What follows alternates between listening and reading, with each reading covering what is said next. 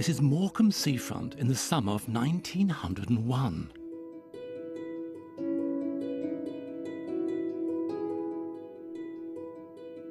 It was filmed by two pioneering filmmakers from Lancashire.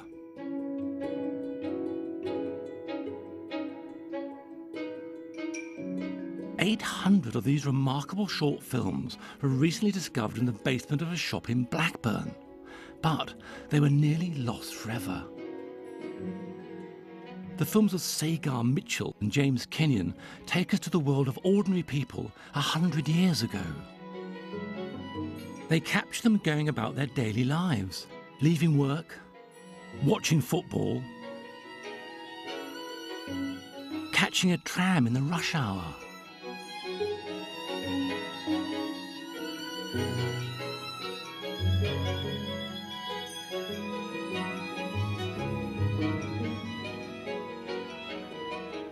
These films by Mitchell and Kenyon, who are based here at Blackburn, offer a unique glimpse into a remote Edwardian world.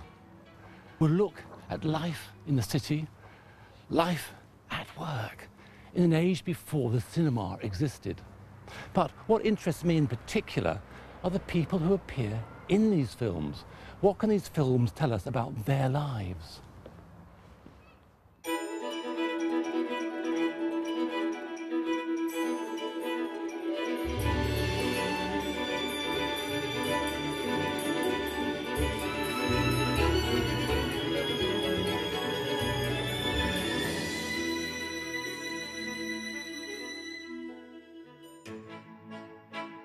The beginning of the 20th century, these early film moguls ran their business from the back of a shop, marketing themselves with the slogans local films and we take them and make them. Mitchell and Kenyon bought into a brand new technology moving pictures. In this series, we're going to look at the unlikely story of these Lancashire businessmen and explore their films to find out what they can tell us about life a hundred years ago. The films that Mitchell and Kenyon shot were of local people and local events.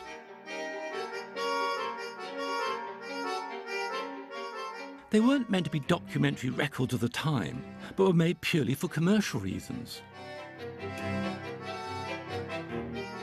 Seeing yourself on screen was an amazing and almost magical event in those days, and people paid just to see themselves. What's fascinating for a modern audience is how much the films reveal about the people in them.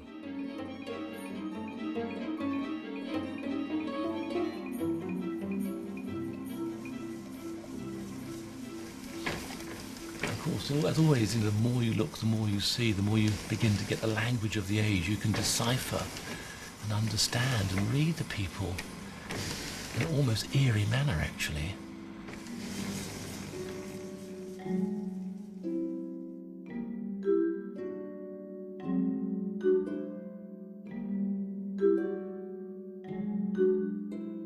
People loved being filmed. For many, it would be their only chance to be recorded for posterity. Though not everyone was so keen.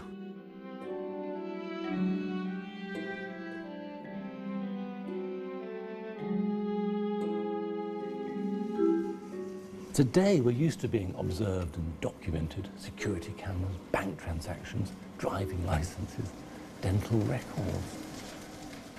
But in 1900, things were very different for ordinary working people.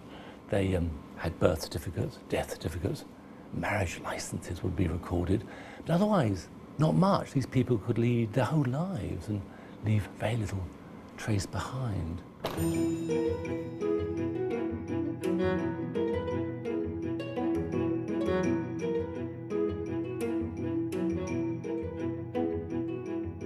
But we have managed to track down the descendants of some of the people in these films.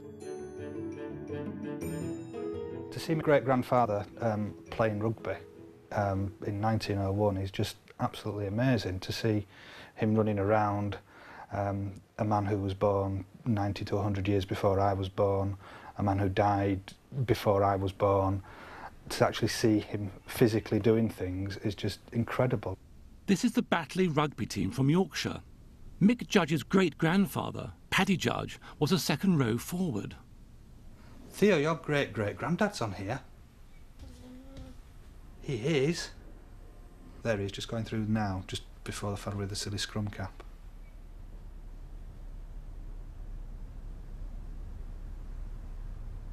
It's just bizarre that this match, 103 years ago near enough, and watching it like you're watching it today almost.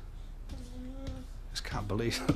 I really can't get over the fact that they're wearing belts with the shorts. It's just incredible.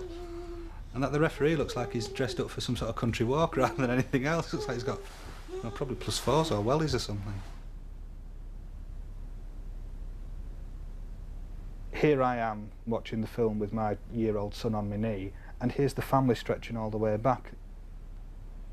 You don't imagine that a member of your family who's not famous, who's not a politician or royalty or a hero or anything like that, it's, it's almost unbelievable to see them moving around, to see them in the flesh in that sort of situation.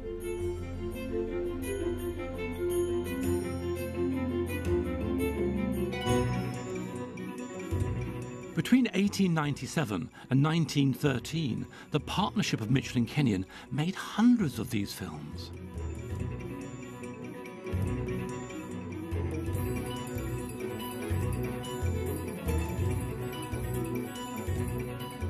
When the business finally folded in the 1920s, the original negatives were packed away in the basement of the shop.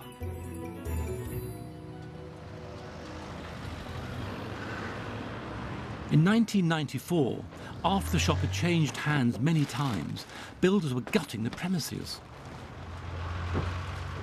Beneath years of accumulated rubbish were three large metal containers, which were about to be dumped on the skip.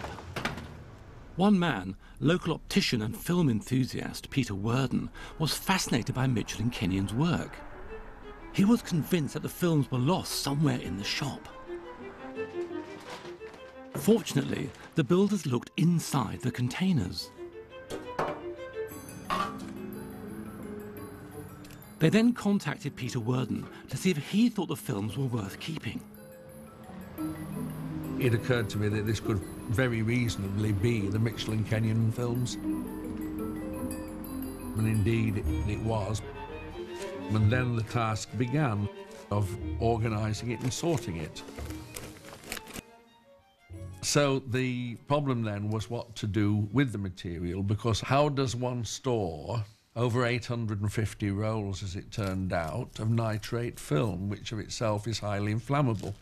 So then I thought, well, the most logical place to put these would be in as well controlled a temporary environment as I could reasonably lay my hands on.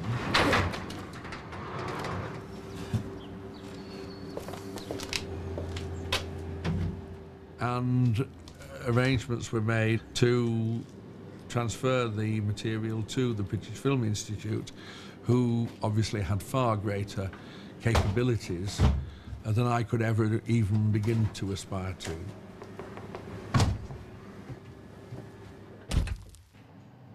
The British Film Institute stored the films in their vaults at the National Film and Television Archives Conservation Centre in Berkhamsted. The painstaking process of preserving and restoring the 800 negatives for the nation began. The films were shot on nitrate stock, which is notoriously flammable. The fact they were stored in a cool place for 80 years probably saved them from deteriorating completely and had to be stored in a safe place before they could be restored. The storage cells are made out of reinforced concrete and have steel doors, all very bunker-like. Now let's go into one of the cells. This is where things get particularly